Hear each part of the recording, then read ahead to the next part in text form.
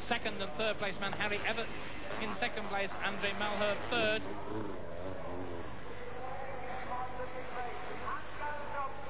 Waiting now for Hakan Karlqvist to flash into sight through those trees. There he comes on the Yamaha. A masterful performance from Karlqvist. He's led this race from start to finish. He loves Farleigh Castle. And strangely enough, this is the very first time that uh, Karlqvist and this is the battle between uh, Graham Noyce and uh, Andre Vromans. That's a scrap for fifth and sixth place.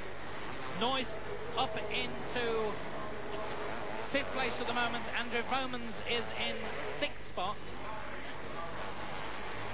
And Jack van Veldhoven seventh, who is the oldest man in the race at about 35 years old. So, number four. That's Van Veldhoven has passed Noyce and they're attacking the hill together. There's Vromans, number two. 46 Van Veldhoven.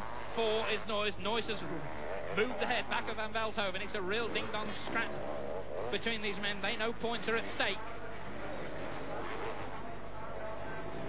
I would think Graham is really gnashing his teeth now after the two crashes and dicing with Van Veldhoven, who's notoriously a difficult man to pass. Well, two bad mistakes for Graham Noyce. That, Andre Vromans in sixth place, so that puts Noyce seventh. Van Veldhoven there in eighth place.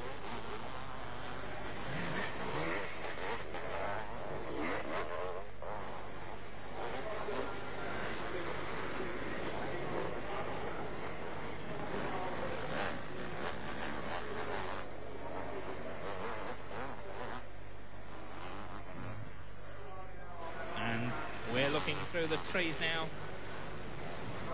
It's Vromans and Noyce and Van Veldhoven. That's still the scrap between the Vromans, number two, Noyce, number four, and uh, Jack Van Veldhoven, number 46. The battle down the leaderboard as uh, Harry Everts comes through, and he's starting his last lap now.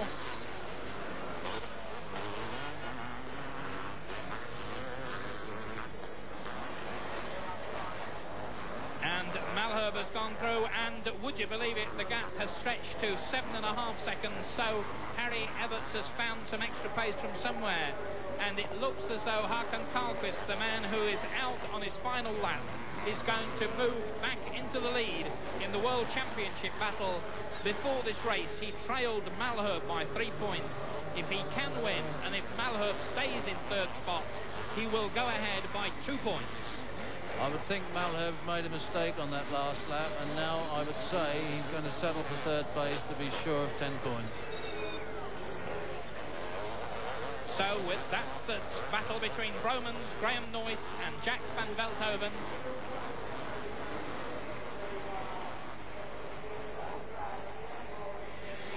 Noyce, as we say, obviously kicking himself for those mistakes early on. Graham Noyce, the British boy who lies third in the World Championship battle at the moment, 40 odd points. And Van Veldhoven again just nibbling away there at uh, Noyce's rear wheel. Van Veldhoven will never give up.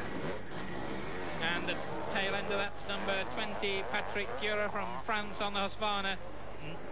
A bit of a gentleman moves over to let this battle go through. Van Veldhoven tries a different line to Noyce. He's on the outside, but Noyce will have the advantage. Still sixth, seventh and eighth place they're fighting for. This is Hakan Karlqvist, and he's got time to wave to the crowd. Well, that's confidence for you, but he's got every reason to be delighted with himself. Hakan Karlqvist, just the last few hundred yards of his race on his last lap. The checkered flag is ready for Karlqvist Hakan Karlqvist again takes the hand off. He must be really pleased with himself. And this victory could well mean that Karlqvist goes through to take the championship lead. He comes past the crowd at Grandstand. The crowd cheer round the final left-hander. The checkered flag goes out. A big wheelie from Hakan Karlqvist, a wave, a victory V. Hakan Karlqvist from Sweden. Rider number eight on the factory Yamaha wins this first leg of the British Motocross Grand Prix here at Farleigh Castle.